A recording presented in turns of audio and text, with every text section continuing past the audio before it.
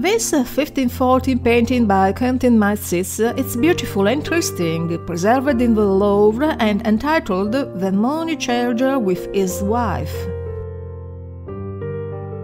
The two protagonists among the five people present in the work, one reflected in the small mirror, the other two behind the wife who speak, are prosopopee, also called personifications, of greed.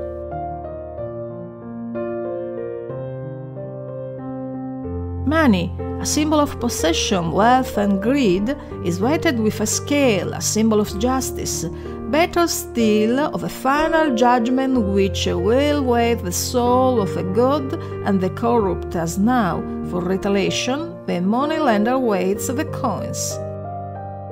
Riches distract the usurer's wife from his sacred readings, evoking the words of a gospel.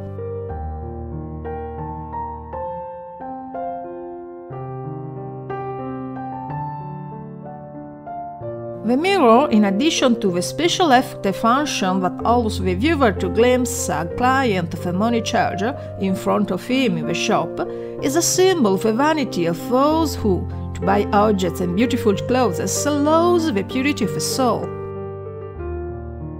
A symbol of sin is the red apple placed on the shelf above the money changer, between accounting books and various objects that are used for the profession.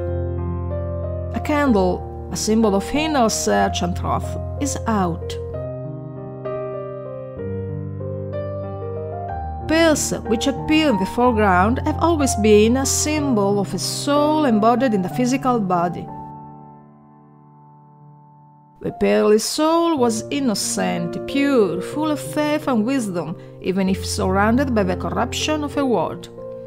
Pills, therefore, are a warning to find primitive purity, abandoning the sin of greed, which corrupts and destroys the human spirit forever.